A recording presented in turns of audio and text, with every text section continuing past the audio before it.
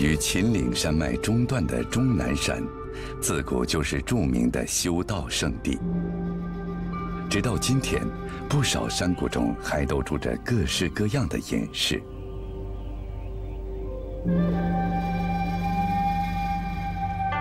公元七百三十年春夏之交，步履轻快的李白跋涉在崎岖的终南小径。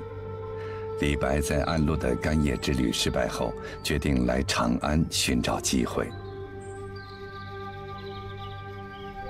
在安陆结婚之后，也是利用许家的关系啊，进一步结交长安的那些达官贵人。其中有一个人就是玉真公主。玉真公主啊，她是唐玄宗的妹妹。当时的那些达官贵人，他们都有这个，就是有这个资格向朝廷推荐人才。其中李白走的就是玉真公主的门道。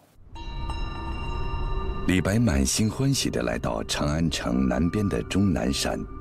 在山中的玉真公主别馆，等待公主的召见。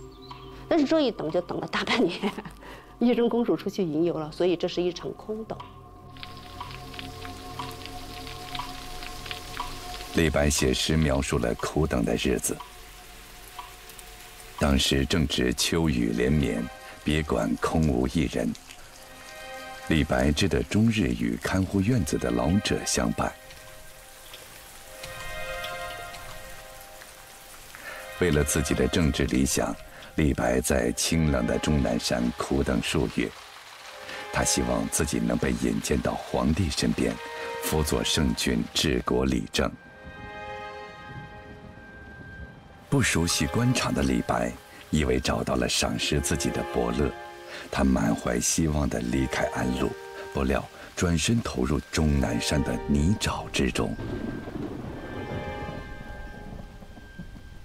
所以第一次到长安其实是无果而终，这个也是当时世人非常共同的一种人生经历啊。他们想要进入到官僚体系之中，但其实唐朝的官僚体系并不真的那么对外开放，这里头有非常非常多的暗礁，呃，有非常非常多的潜规则，哎，所以很多人都因此碰得头破血流。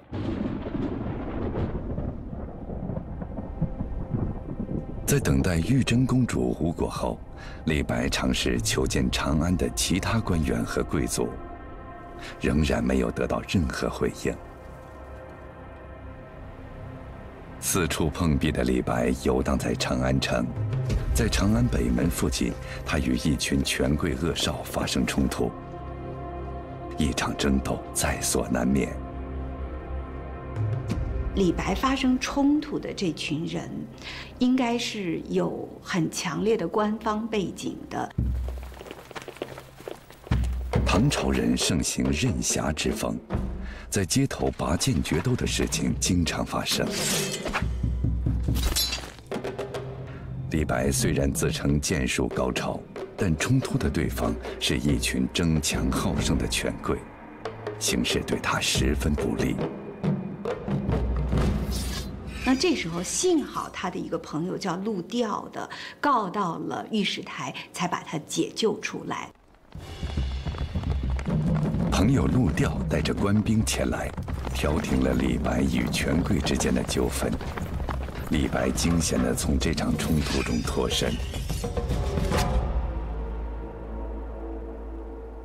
他第一日入长安的话，应该说是不顺利的，啊，一个就是没有实现自己的这种理想。同时呢，他也招来了一些烦恼。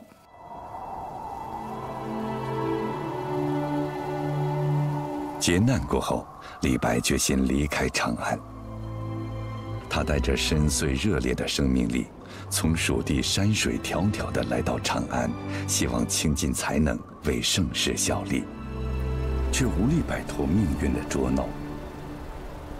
这崎岖的入世之路，与蜀道何其相似！激荡的情绪在心中郁结已久，于是李白写下了千古名篇《蜀道难》。《蜀道难》是一个乐府古题，南北朝晚期大家不断写《蜀道难》，但是古人往往就是在蜀道，就是在自然环境下，哎，就是写他的险峻。但是李白。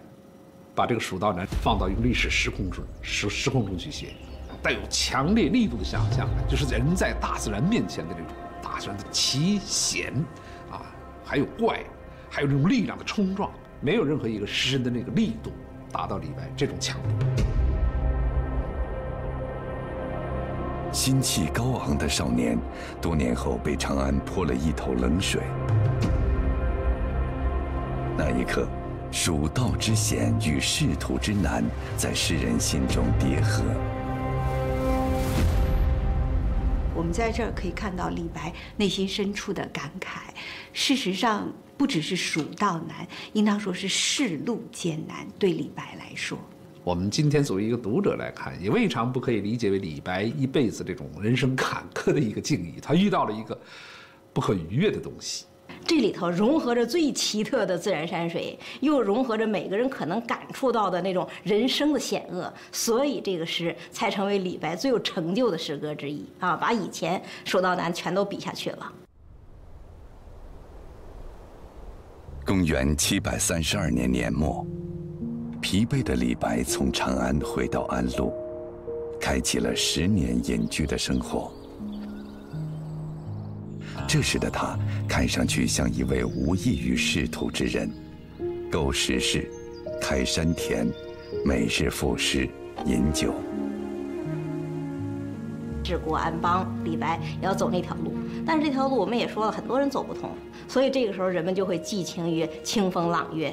魏南北朝时期，这个谢晦他就讲：“入我门者只有清风，跟我一块饮酒者唯有朗月。”哎，这是一个大传统。然后到李白这儿，仍然认定别的东西我是左右不了的，但是清风明月是不用以钱买的。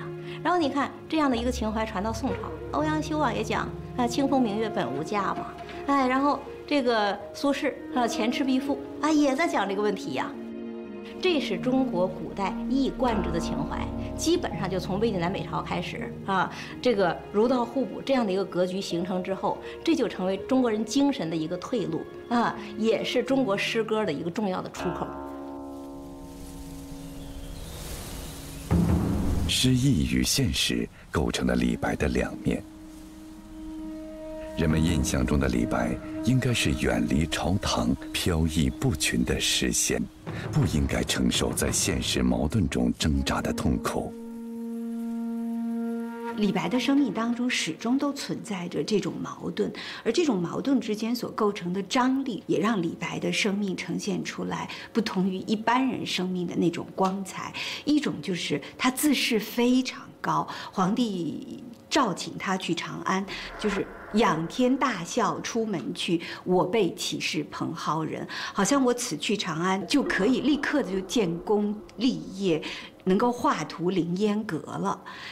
然后另外一种呢，我们在李白的诗里边又频频看到他表白说，他其实是不在乎的，他其实是更愿意悠游田园。去访道寻仙的这两个东西看上去很矛盾，但是他们却统一在李白的生命当中。李白也好，杜甫也好，整个唐朝的诗人吧，都是有政治抱负的，不仅仅是上凌烟阁的问题，还有什么寰宇大定啊？就是一方面我自身要有成就，第二方面我的成就要济苍生安黎远，这是他们的重大政治抱负。李白的诗才令他誉满海内。公元七百四十二年，唐玄宗宣召李白进京，任翰林供奉。李白再次来到长安。距他二十四岁出蜀远游、书剑飘零的日子，已过去了十八年。唐朝是极端右文政策的，尊崇文人，所以唐玄宗喜欢才子。李白的名声到了他这儿以后。唐玄宗应该说对他来说，应该是一个真心喜爱，不然的话找这么一个平民进宫干什么呢？公元七百四十二年的秋天，李白迎来了人生中最高光的时刻。盛唐时期最伟大的诗人即将见到自己理想的君王。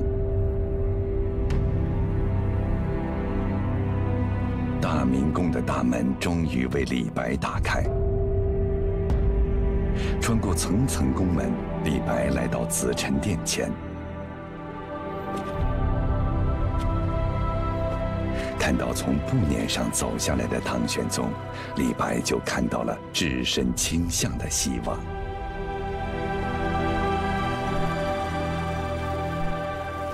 第二次入长安，李白得到了皇帝的极大礼遇。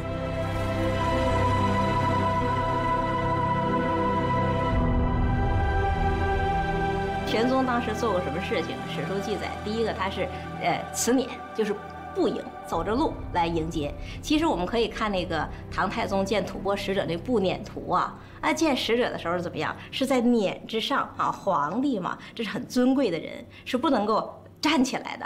但是唐玄宗见到李太白就站起来了。唐玄宗不仅亲自起身迎接李白。他还在御殿之上赐食于李白，这是臣子难得的荣耀。皇帝礼贤下士，到了亲手给他来调和羹汤那个程度，而且呢，跟李白说：“卿是布衣啊，你是个老百姓啊，你老百姓，你的名字居然能被我知道，说明什么？不是说明我了不起，说明你了不起。”进入长安的第一年。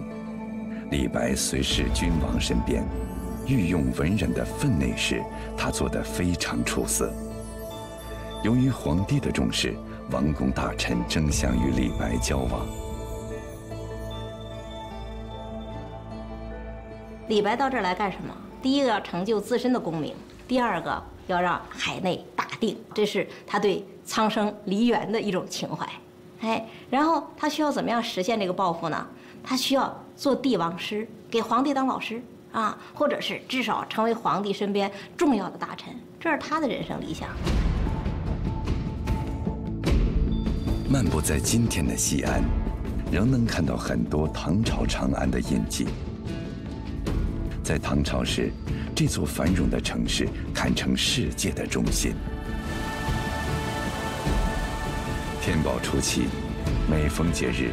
唐玄宗都要在长安举行盛大宴会，李白也是在这里写下了《清平调》。唐玄宗呢和杨贵妃在兴庆宫里面呢赏花，唐玄宗呢就说赏名花对妃子，宴用旧词焉，就是说没有新的词。然后他就让李龟年拿着金花笺去请李白，李白来填词。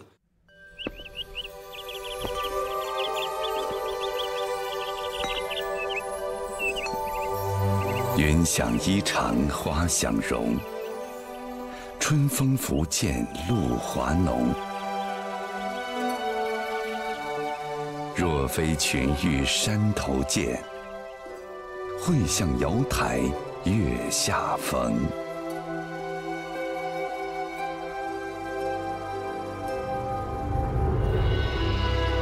李白醉意犹浓。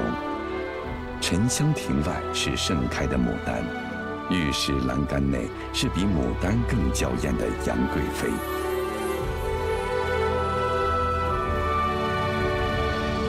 春风轻拂，诗人呼吸着花香，花香又从他笔下流出，在中国人的记忆中留存了一千年。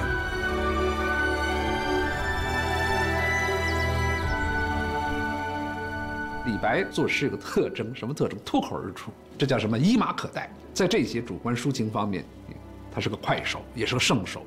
这几句诗，整个把唐朝的这种艳丽的这种，蓬勃的、富于生命力的啊那种那种扑面而来的那种那种那种气息写出来了。这一幕是唐代帝王的浪漫，也是唐代文人的浪漫。背后是自信开放的大唐风度。唐朝的时候，草原民族和中原民族都融为一体，所以呢，这个让唐朝呢有极大的包容力、极强的吸纳力，就让唐朝文化迸发出很强的能量，人变得非常的奔放，非常的张扬，非常的自信，然后非常愿意表现自我。唐玄宗的自信来源于他开创的开元盛世。这一时期，中国历史呈现出蔚为壮观的盛唐气象。于是唐朝人信心十足，对什么都用微笑来接纳。盛唐啊，那时候我觉得是文采风流。文采风流不意味着没有武功，哎，但是武功不是一切。高适也好，岑参也好，一边打着仗，一边就写着军歌：“忽如一夜春风来，千树万树梨花开。”然后在内地是一个什么样的风范呢？内地不闻兵戈之声，成平很久，是物质文明高度发展。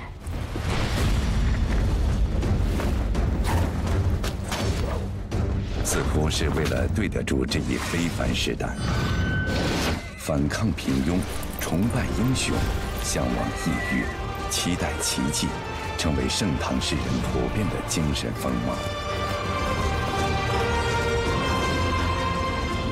广袤江山上，无数诗人如鲜花怒放，引吭高歌，造就出中国历史上独一无二。多姿多彩的诗国大唐，这，都有了，需要一个时代的歌手出来了，讴歌这一切。这个歌手是谁？这个歌手是李白和他的这些朋友们。这个就反映出那个高光时刻的文采风流之处，他不乏味，他在花天酒地之外。有文采风流，所以我们才能感觉盛唐是双重的盛，是物质的盛，也是精神的盛；是武功的盛，也是文治的盛。大唐与诗人互相成就，大唐气韵哺育了诗人，而诗人的笔又为盛唐鲜花着锦。在这场浩大诗人盛宴里，最醒目的主角就是李白。李白天生他不是下来表现民生疾苦的那种诗人，他气质上不是这个气质。非常幸运的生在了开元天宝之际，正是大唐帝国最繁荣的时候，所以他的诗篇就为这个繁荣时间唱了赞歌。在长安的这段岁月，是李白生命中离梦想最近的一段时光。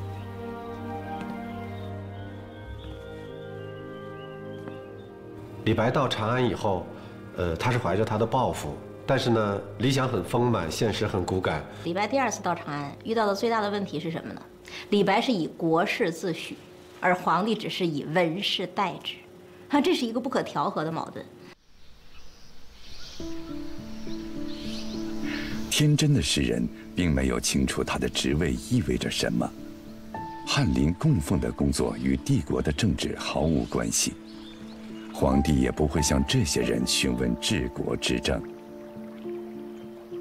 玄宗是让他做翰林供奉，这个翰林供奉不是翰林学士，翰林学士是为皇帝起草诏告的，他慢慢就成了皇帝身边的一个顾问，他可以跟皇帝商讨国家大事，所以翰林学士的地位是很重要的，他是参与到政治当中去。但是翰林供奉呢，其实是有各种各样的供奉，茶供奉、酒供奉，就是为皇帝。提供茶酒、饮茶、饮酒服务的，这个也在翰林供奉里边。还有可能陪皇帝下棋的，也在那里头。李白呢，是属于诗歌供奉。所以，其实李白是作为一个有才华的艺术家被供奉在这儿的。这跟政治没什么关系，跟李白的政治理想也没关。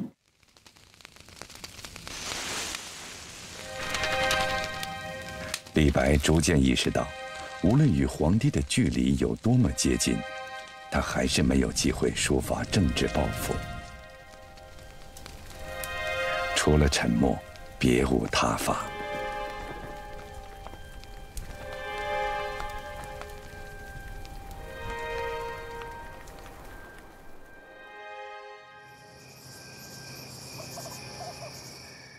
专场示意。诗往往写得格外出色。入京第二年，一个深夜，在院落里自酌自饮的李白写下了名篇《月下独酌》：“花间一壶酒，独酌无相亲。”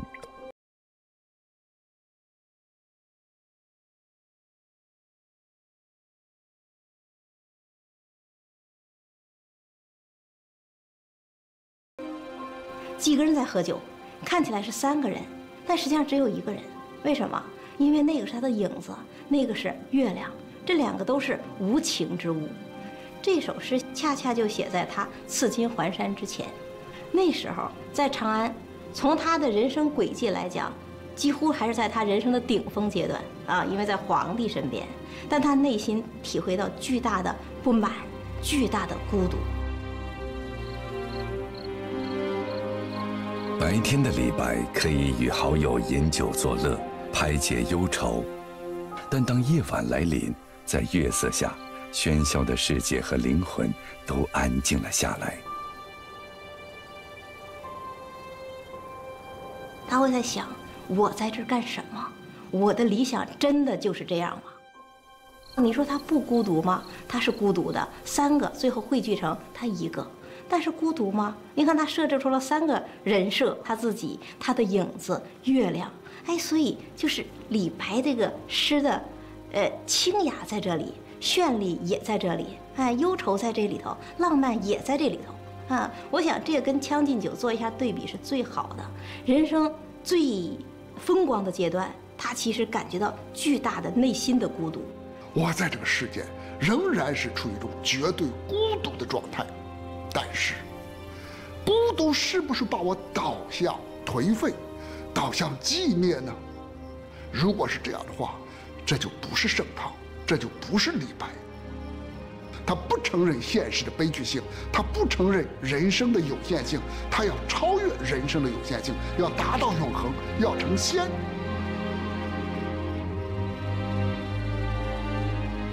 面对浩瀚的宇宙。白日里傲岸的李白，在月色下到达生命最真实的境地。他说出了微小个人在天地之间是如此的旷渺无助。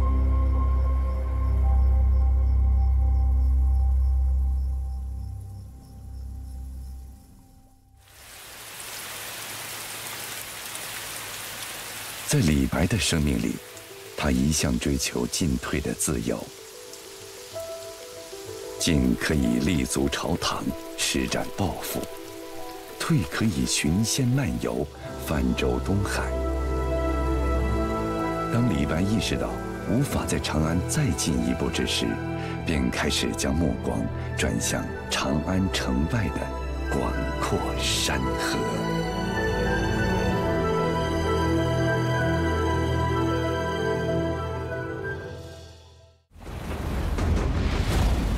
政治上的天真，让李白与官场格格不入。眷恋自由的他，被赐金放还。离开长安，李白重新踏上漫游山水的道路。中国文学史上最著名的两位唐诗巨匠，李白与杜甫，终于相遇。